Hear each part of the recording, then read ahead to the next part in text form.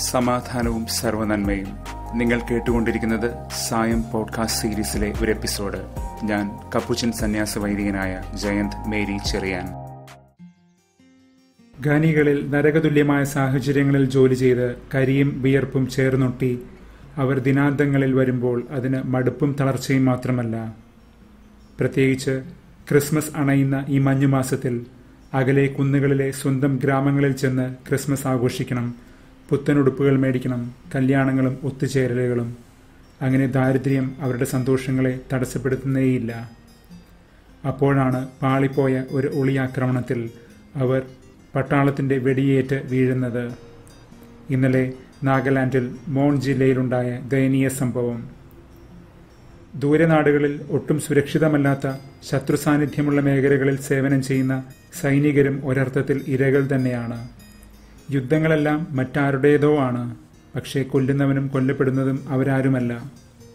നാഗാലാൻഡിന്റെ പ്രൗഢിയെ ഷോക്കേസിലാക്കി ഒരുക്കുന്ന പ്രശസ്തമായ hornbill festival ഈ വർഷം തുടങ്ങിയിട്ട് രണ്ട് ദിവസമേ ആയിട്ടുള്ളൂ. അതിൽ കാണുന്ന പകിട്ടും കാൽപ്പനികതയുമില്ല ആ ദേശവാസികൾ അവരുടെ മണ്ണിൽ ചവിട്ടി നിൽക്കുമ്പോൾ. ടൂറിസത്തിന്റെ കെട്ടുകാഴ്ചകൾക്കപ്പുറം പൊള്ളുന്ന ജീവിത യാഥാർത്ഥ്യങ്ങളുണ്ട് ഇന്നലെ നാം കണ്ടതുപോലെ മുറിയപ്പെട്ട ഹൃദയങ്ങളിൽ നിന്ന് മുറിവേൽക്കുന്ന നാടുകൾ. കാഞ്ചി വലിക്കാൻ അത്യുത്സാഹം കാണിക്കുന്ന A F S P A പോലുള്ള അപരിഷ്കൃതമായ പട്ടാള നിയമങ്ങളെ ഈ സംഭവങ്ങൾ വീണ്ടും ചർച്ചാ വിഷയമാക്കുന്നു സുപ്രീം കോടതി പോലും അതിനെതിരെ താക്കീത് ചെയ്തു കഴിഞ്ഞു. പട്ടാളക്കാർ നിയമത്തിന് അതീതരല്ല എന്ന് കർശനമായി പറഞ്ഞുകൊണ്ട് നിയമം കയ്യിലെടുക്കാൻ ആർക്കും അധികാരവുമില്ല. അങ്ങനെ വന്നാൽ അത് ജനാധിപത്യത്തിന്റെ മരണമണിമുഴക്കമായിരിക്കും. ഇന്ന് മിലാനിലെ വിശുദ്ധ ആംപ്രോസിന്റെ തിരുനാളാണ്. സഭയും രാഷ്ട്രവും തമ്മിലുള്ള സങ്കീർണമായ സന്തുലനം സാധ്യമാക്കിയ മികച്ച രാജ്യതന്ത്രജ്ഞനും സഭാപിതാവുമാണ് മിലാനിലെ ഈ മെത്രാൻ. എ ഡി മുന്നൂറ്റി തൊണ്ണൂറിൽ ഇതുപോലെ ഒരു സംഭവത്തിൽ റോമൻ സൈന്യം തെസലോനിക്കയിലെ സിവിലിയന്മാരെ കൂട്ടക്കൊല ചെയ്തു.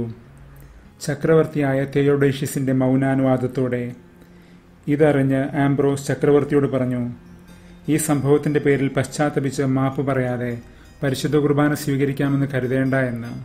അതും ഒരു ക്രിസ്മസ് കാലമായിരുന്നു. ചക്രവർത്തി അടിയറവ് പറഞ്ഞു എന്നാണ് ചരിത്രം.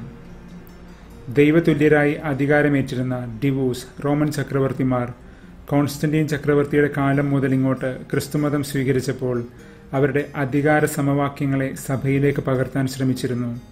സഭ ഒരു സാമ്രാജ്യത്വ ശക്തി പോലെ കാണപ്പെടുകയും ചെയ്തു. രാജ്യത്തെ ബലപ്പെടുത്താൻ പല ഉപായങ്ങളും വഴികളും തേടാമെന്നും എല്ലാ മതങ്ങളെയും സമാസമം ചേർത്ത് വെച്ച് ഭരിക്കാമെന്നും എല്ലാ വഴികളും പരീക്ഷിക്കാമെന്നും ചക്രവർത്തിമാരും ഉപദേശകരും തീരുമാനിച്ചു. അപ്പോൾ ആംബ്രോസ് അവരോട് പറഞ്ഞു സഭയ്ക്ക് പല വഴികളില്ല ഒരു വഴിയേ ഉള്ളൂ ഊനും ഇത്തേർ.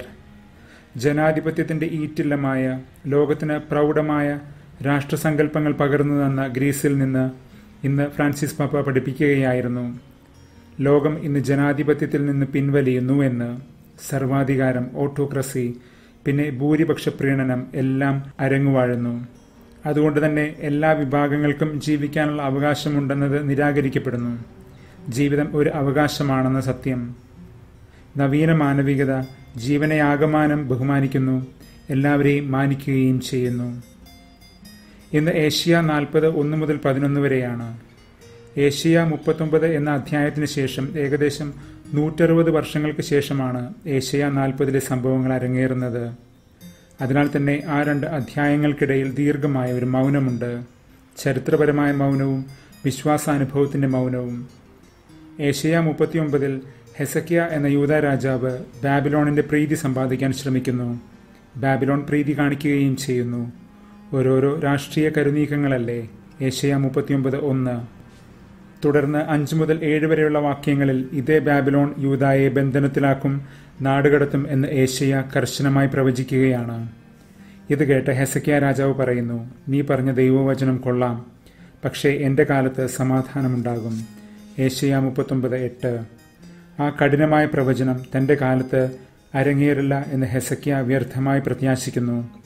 പക്ഷേ അവൻ അറിയുന്നില്ല ദാവീദ് വംശമായ യൂത ഭവനത്തിന്റെ ചരിത്രത്തിന്റെ അസ്തമയം കുറിക്കുന്ന മുഹൂർത്തമാണതെന്ന് ചരിത്രം കുട്ടിയടക്കപ്പെടുന്നു മൗനത്തിന്റെ മുദ്രകൾ ചാർത്തപ്പെടുകയും ചെയ്യുന്നു. അപ്പോഴാണ് ഈ മൗനം ഭേദിച്ചുകൊണ്ട് നാഥൻ ആജ്ഞാപിക്കുന്നത് നഖാമു നഖാമു അമ്മീ ആശ്വസിപ്പിക്കുക എന്റെ ജനത്തെ ആശ്വസിപ്പിക്കുക. ഏഷ്യ നാൽപ്പത് ഒന്ന്. ഈ ദിവസങ്ങളിലെല്ലാം നാം കണ്ടുവരുന്നതാണ് ആശ്വാസം. ഇന്നലെ ആശ്വാസകനായ പരിശുദ്ധാത്മാവിനെയും നാം കണ്ടു. നമ്മിൽ ദൈവസമന്വയം സാധ്യമാക്കുന്ന പരിശുദ്ധാത്മാവ്. നഖാം എന്ന പദത്തിന് ആശ്വാസം എന്ന അർത്ഥം മാത്രമല്ല ദൈവനിശ്വാസത്തിന്റെ സ്വരവുമുണ്ട്. അത് പരിശുദ്ധാത്മാവിന്റെ സൂചന തന്നെയാണ് ആ അർത്ഥത്തിൽ. അതിനാൽ അത് വെറും ഒരു ആശ്വാസവാക്കിനെ കുറിക്കുന്നതല്ല പരിവർത്തനം വരുത്തുന്ന ഐക്യദാർഢ്യത്തെ കുറിക്കുന്നതാണ്. ട്രാൻസ്ഫോർമേറ്റീവ് സോളിഡാരിറ്റി പുതിയ വഴികൾ വെട്ടിത്തുറക്കാൻ ദൈവം നടത്തുന്ന ശക്തമായ ഇടപെടൽ. പിൽക്കാലത്ത് ശ്രീഹ ഈ ദൈവിക ആശ്വാസത്തെ കുറിക്കുന്നു. രണ്ട് കൊറിന്ത്യർ ഒന്ന് മൂന്ന് മുതൽ നാല് വരെ അതിനെ നാം എങ്ങനെ അനുകരിക്കണമെന്നും ദൈവം തന്റെ വിശുദ്ധ സഭയിൽ നിന്ന് ആജ്ഞാപിക്കുന്നു ഇതൊക്കെ വിളിച്ചു പറയുക എന്ന്. ക്രൈ ഔട്ട് മനുഷ്യന്റെ സ്വരം ദൈവിക ആജ്ഞ നിറവേറ്റുന്നതിന്റെ ഭാവമാണതിന്.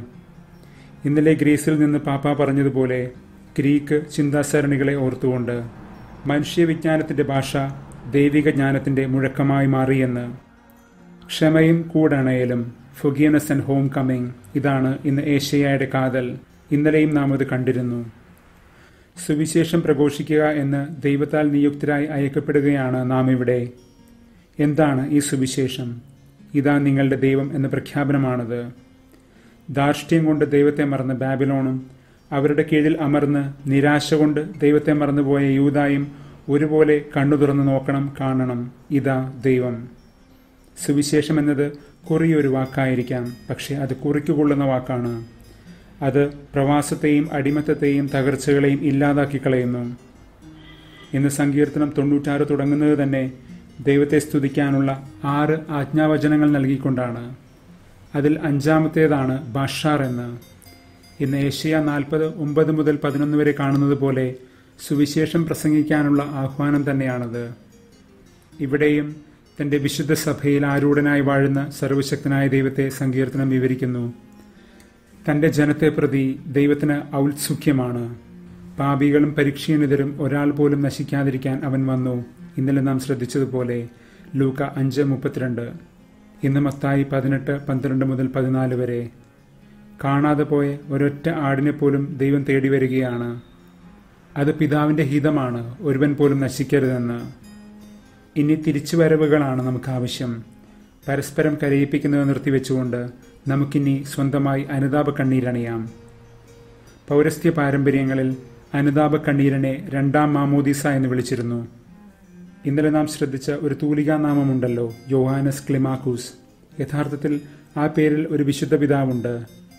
ആ താപസ പിതാവ് പറയുമായിരുന്നു ഒരർത്ഥത്തിൽ ജ്ഞാനസ്നാന ജലത്തേക്കാൾ മേന്മയുള്ളതാണ് കണ്ണീര്. ജ്ഞാനസ്നാനം മുൻകാല പാപങ്ങളെ കഴുകിക്കളയുമ്പോൾ കണ്ണീര് ബാക്കി എല്ലാ പാപങ്ങളെയും കഴുകിക്കളയുന്നു. സജലങ്ങളാണ് നമ്മുടെ രക്ഷയുടെ വഴികൾ. ജ്ഞാനസ്നാനം സ്വീകരിച്ച് നാം പാലിക്കേണ്ട ആത്മീയ പരിവർത്തനത്തിന്റെ ഓർമ്മയുണർത്തുകയാണ് ഇതെല്ലാം. ഇന്ന് വിശുദ്ധ ആംബ്രോസ് നമ്മോട് പറയുന്നു സഭയിൽ രണ്ടുതരം പരിവർത്തനങ്ങളുണ്ട് എന്ന്. നീരും കണ്ണീരും ജ്ഞാനസ്നാനത്തിന്റെ തെളിനീരും അനുതാപത്തിന്റെ മിഴിനീരും. ഈ ആംബ്രോസ് തന്നെയാണല്ലോ വിശുദ്ധ മോനിക്കായോട് പറഞ്ഞത് കണ്ണീരിന്റെ പുത്രൻ നശിക്കില്ല എന്ന് അവളുടെ പുത്രനായ അഗസ്റ്റിനെ കുറിച്ച്